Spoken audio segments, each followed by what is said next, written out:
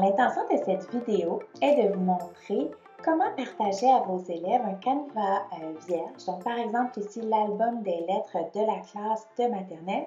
Le canevas a été fait avec euh, l'outil Google Présentation, Google Slides, et euh, nous voulons le partager à des élèves non lecteurs.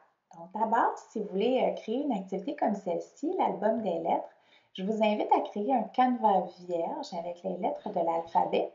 On va vous partager notre modèle de canevas et vous pourrez le modifier à votre guise.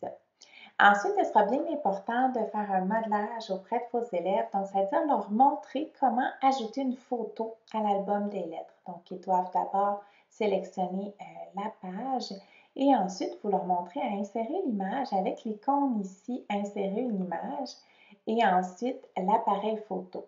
De cette façon, ils pourront se promener dans la classe avec leur appareil numérique, c'est-à-dire leur Chromebook ou leur tablette, et pourront ajouter une photo, donc en cliquant sur appareil photo, donc prendre une photo euh, dans la classe d'un objet ou euh, d'une image d'un livre qui commence par euh, la lettre qu'on trouve ici. Maintenant, ce qu'on veut faire, c'est partager l'album des lettres à nos élèves non lecteurs. Donc, vous cliquez ici sur Partager on voit l'icône des deux petits bonhommes et le mot partager. Et là, on voit qu'on a partagé l'album à des personnes spécifiques.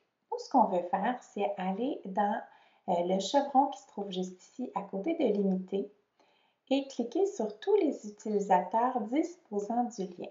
Donc, de cette façon-là, les gens qui vont accéder au Canva n'auront pas besoin d'être connectés à un compte Google. Et on va leur donner un rôle on va leur donner le rôle d'éditeur. Et c'est ce lien qu'on va copier puis qu'on va partager aux élèves. Comment on leur partage maintenant? Donc, vous voyez, j'ai collé mon euh, lien dans ma barre de navigation en haut. Puis, on se rappelle que lorsque le lien est sélectionné, j'ai l'option, soit que je vais avoir une icône ici de code QR, sinon je clique sur la flèche de partage juste ici et j'ai l'option de créer un code QR.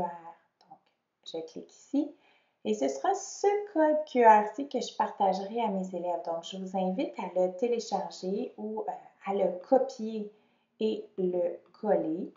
Euh, et de cette façon-ci, les élèves pourront le numériser. Donc, ça pourrait même être un porte-clés. J'ai déjà vu ça en classe, un porte-clés avec différents codes QR et des icônes qui indiquent aux élèves ce qui représente ce code QR-ci. Euh, sinon, ben, c'est une page que vous affichez sur votre tableau interactif avec les principaux codes QR qu'ils peuvent utiliser, par exemple, dans les jeux libres euh, ou pendant les périodes d'atelier. Donc voilà, j'espère que ça vous aidera à créer ce type d'activité. Puis n'hésitez pas si vous avez d'autres questions.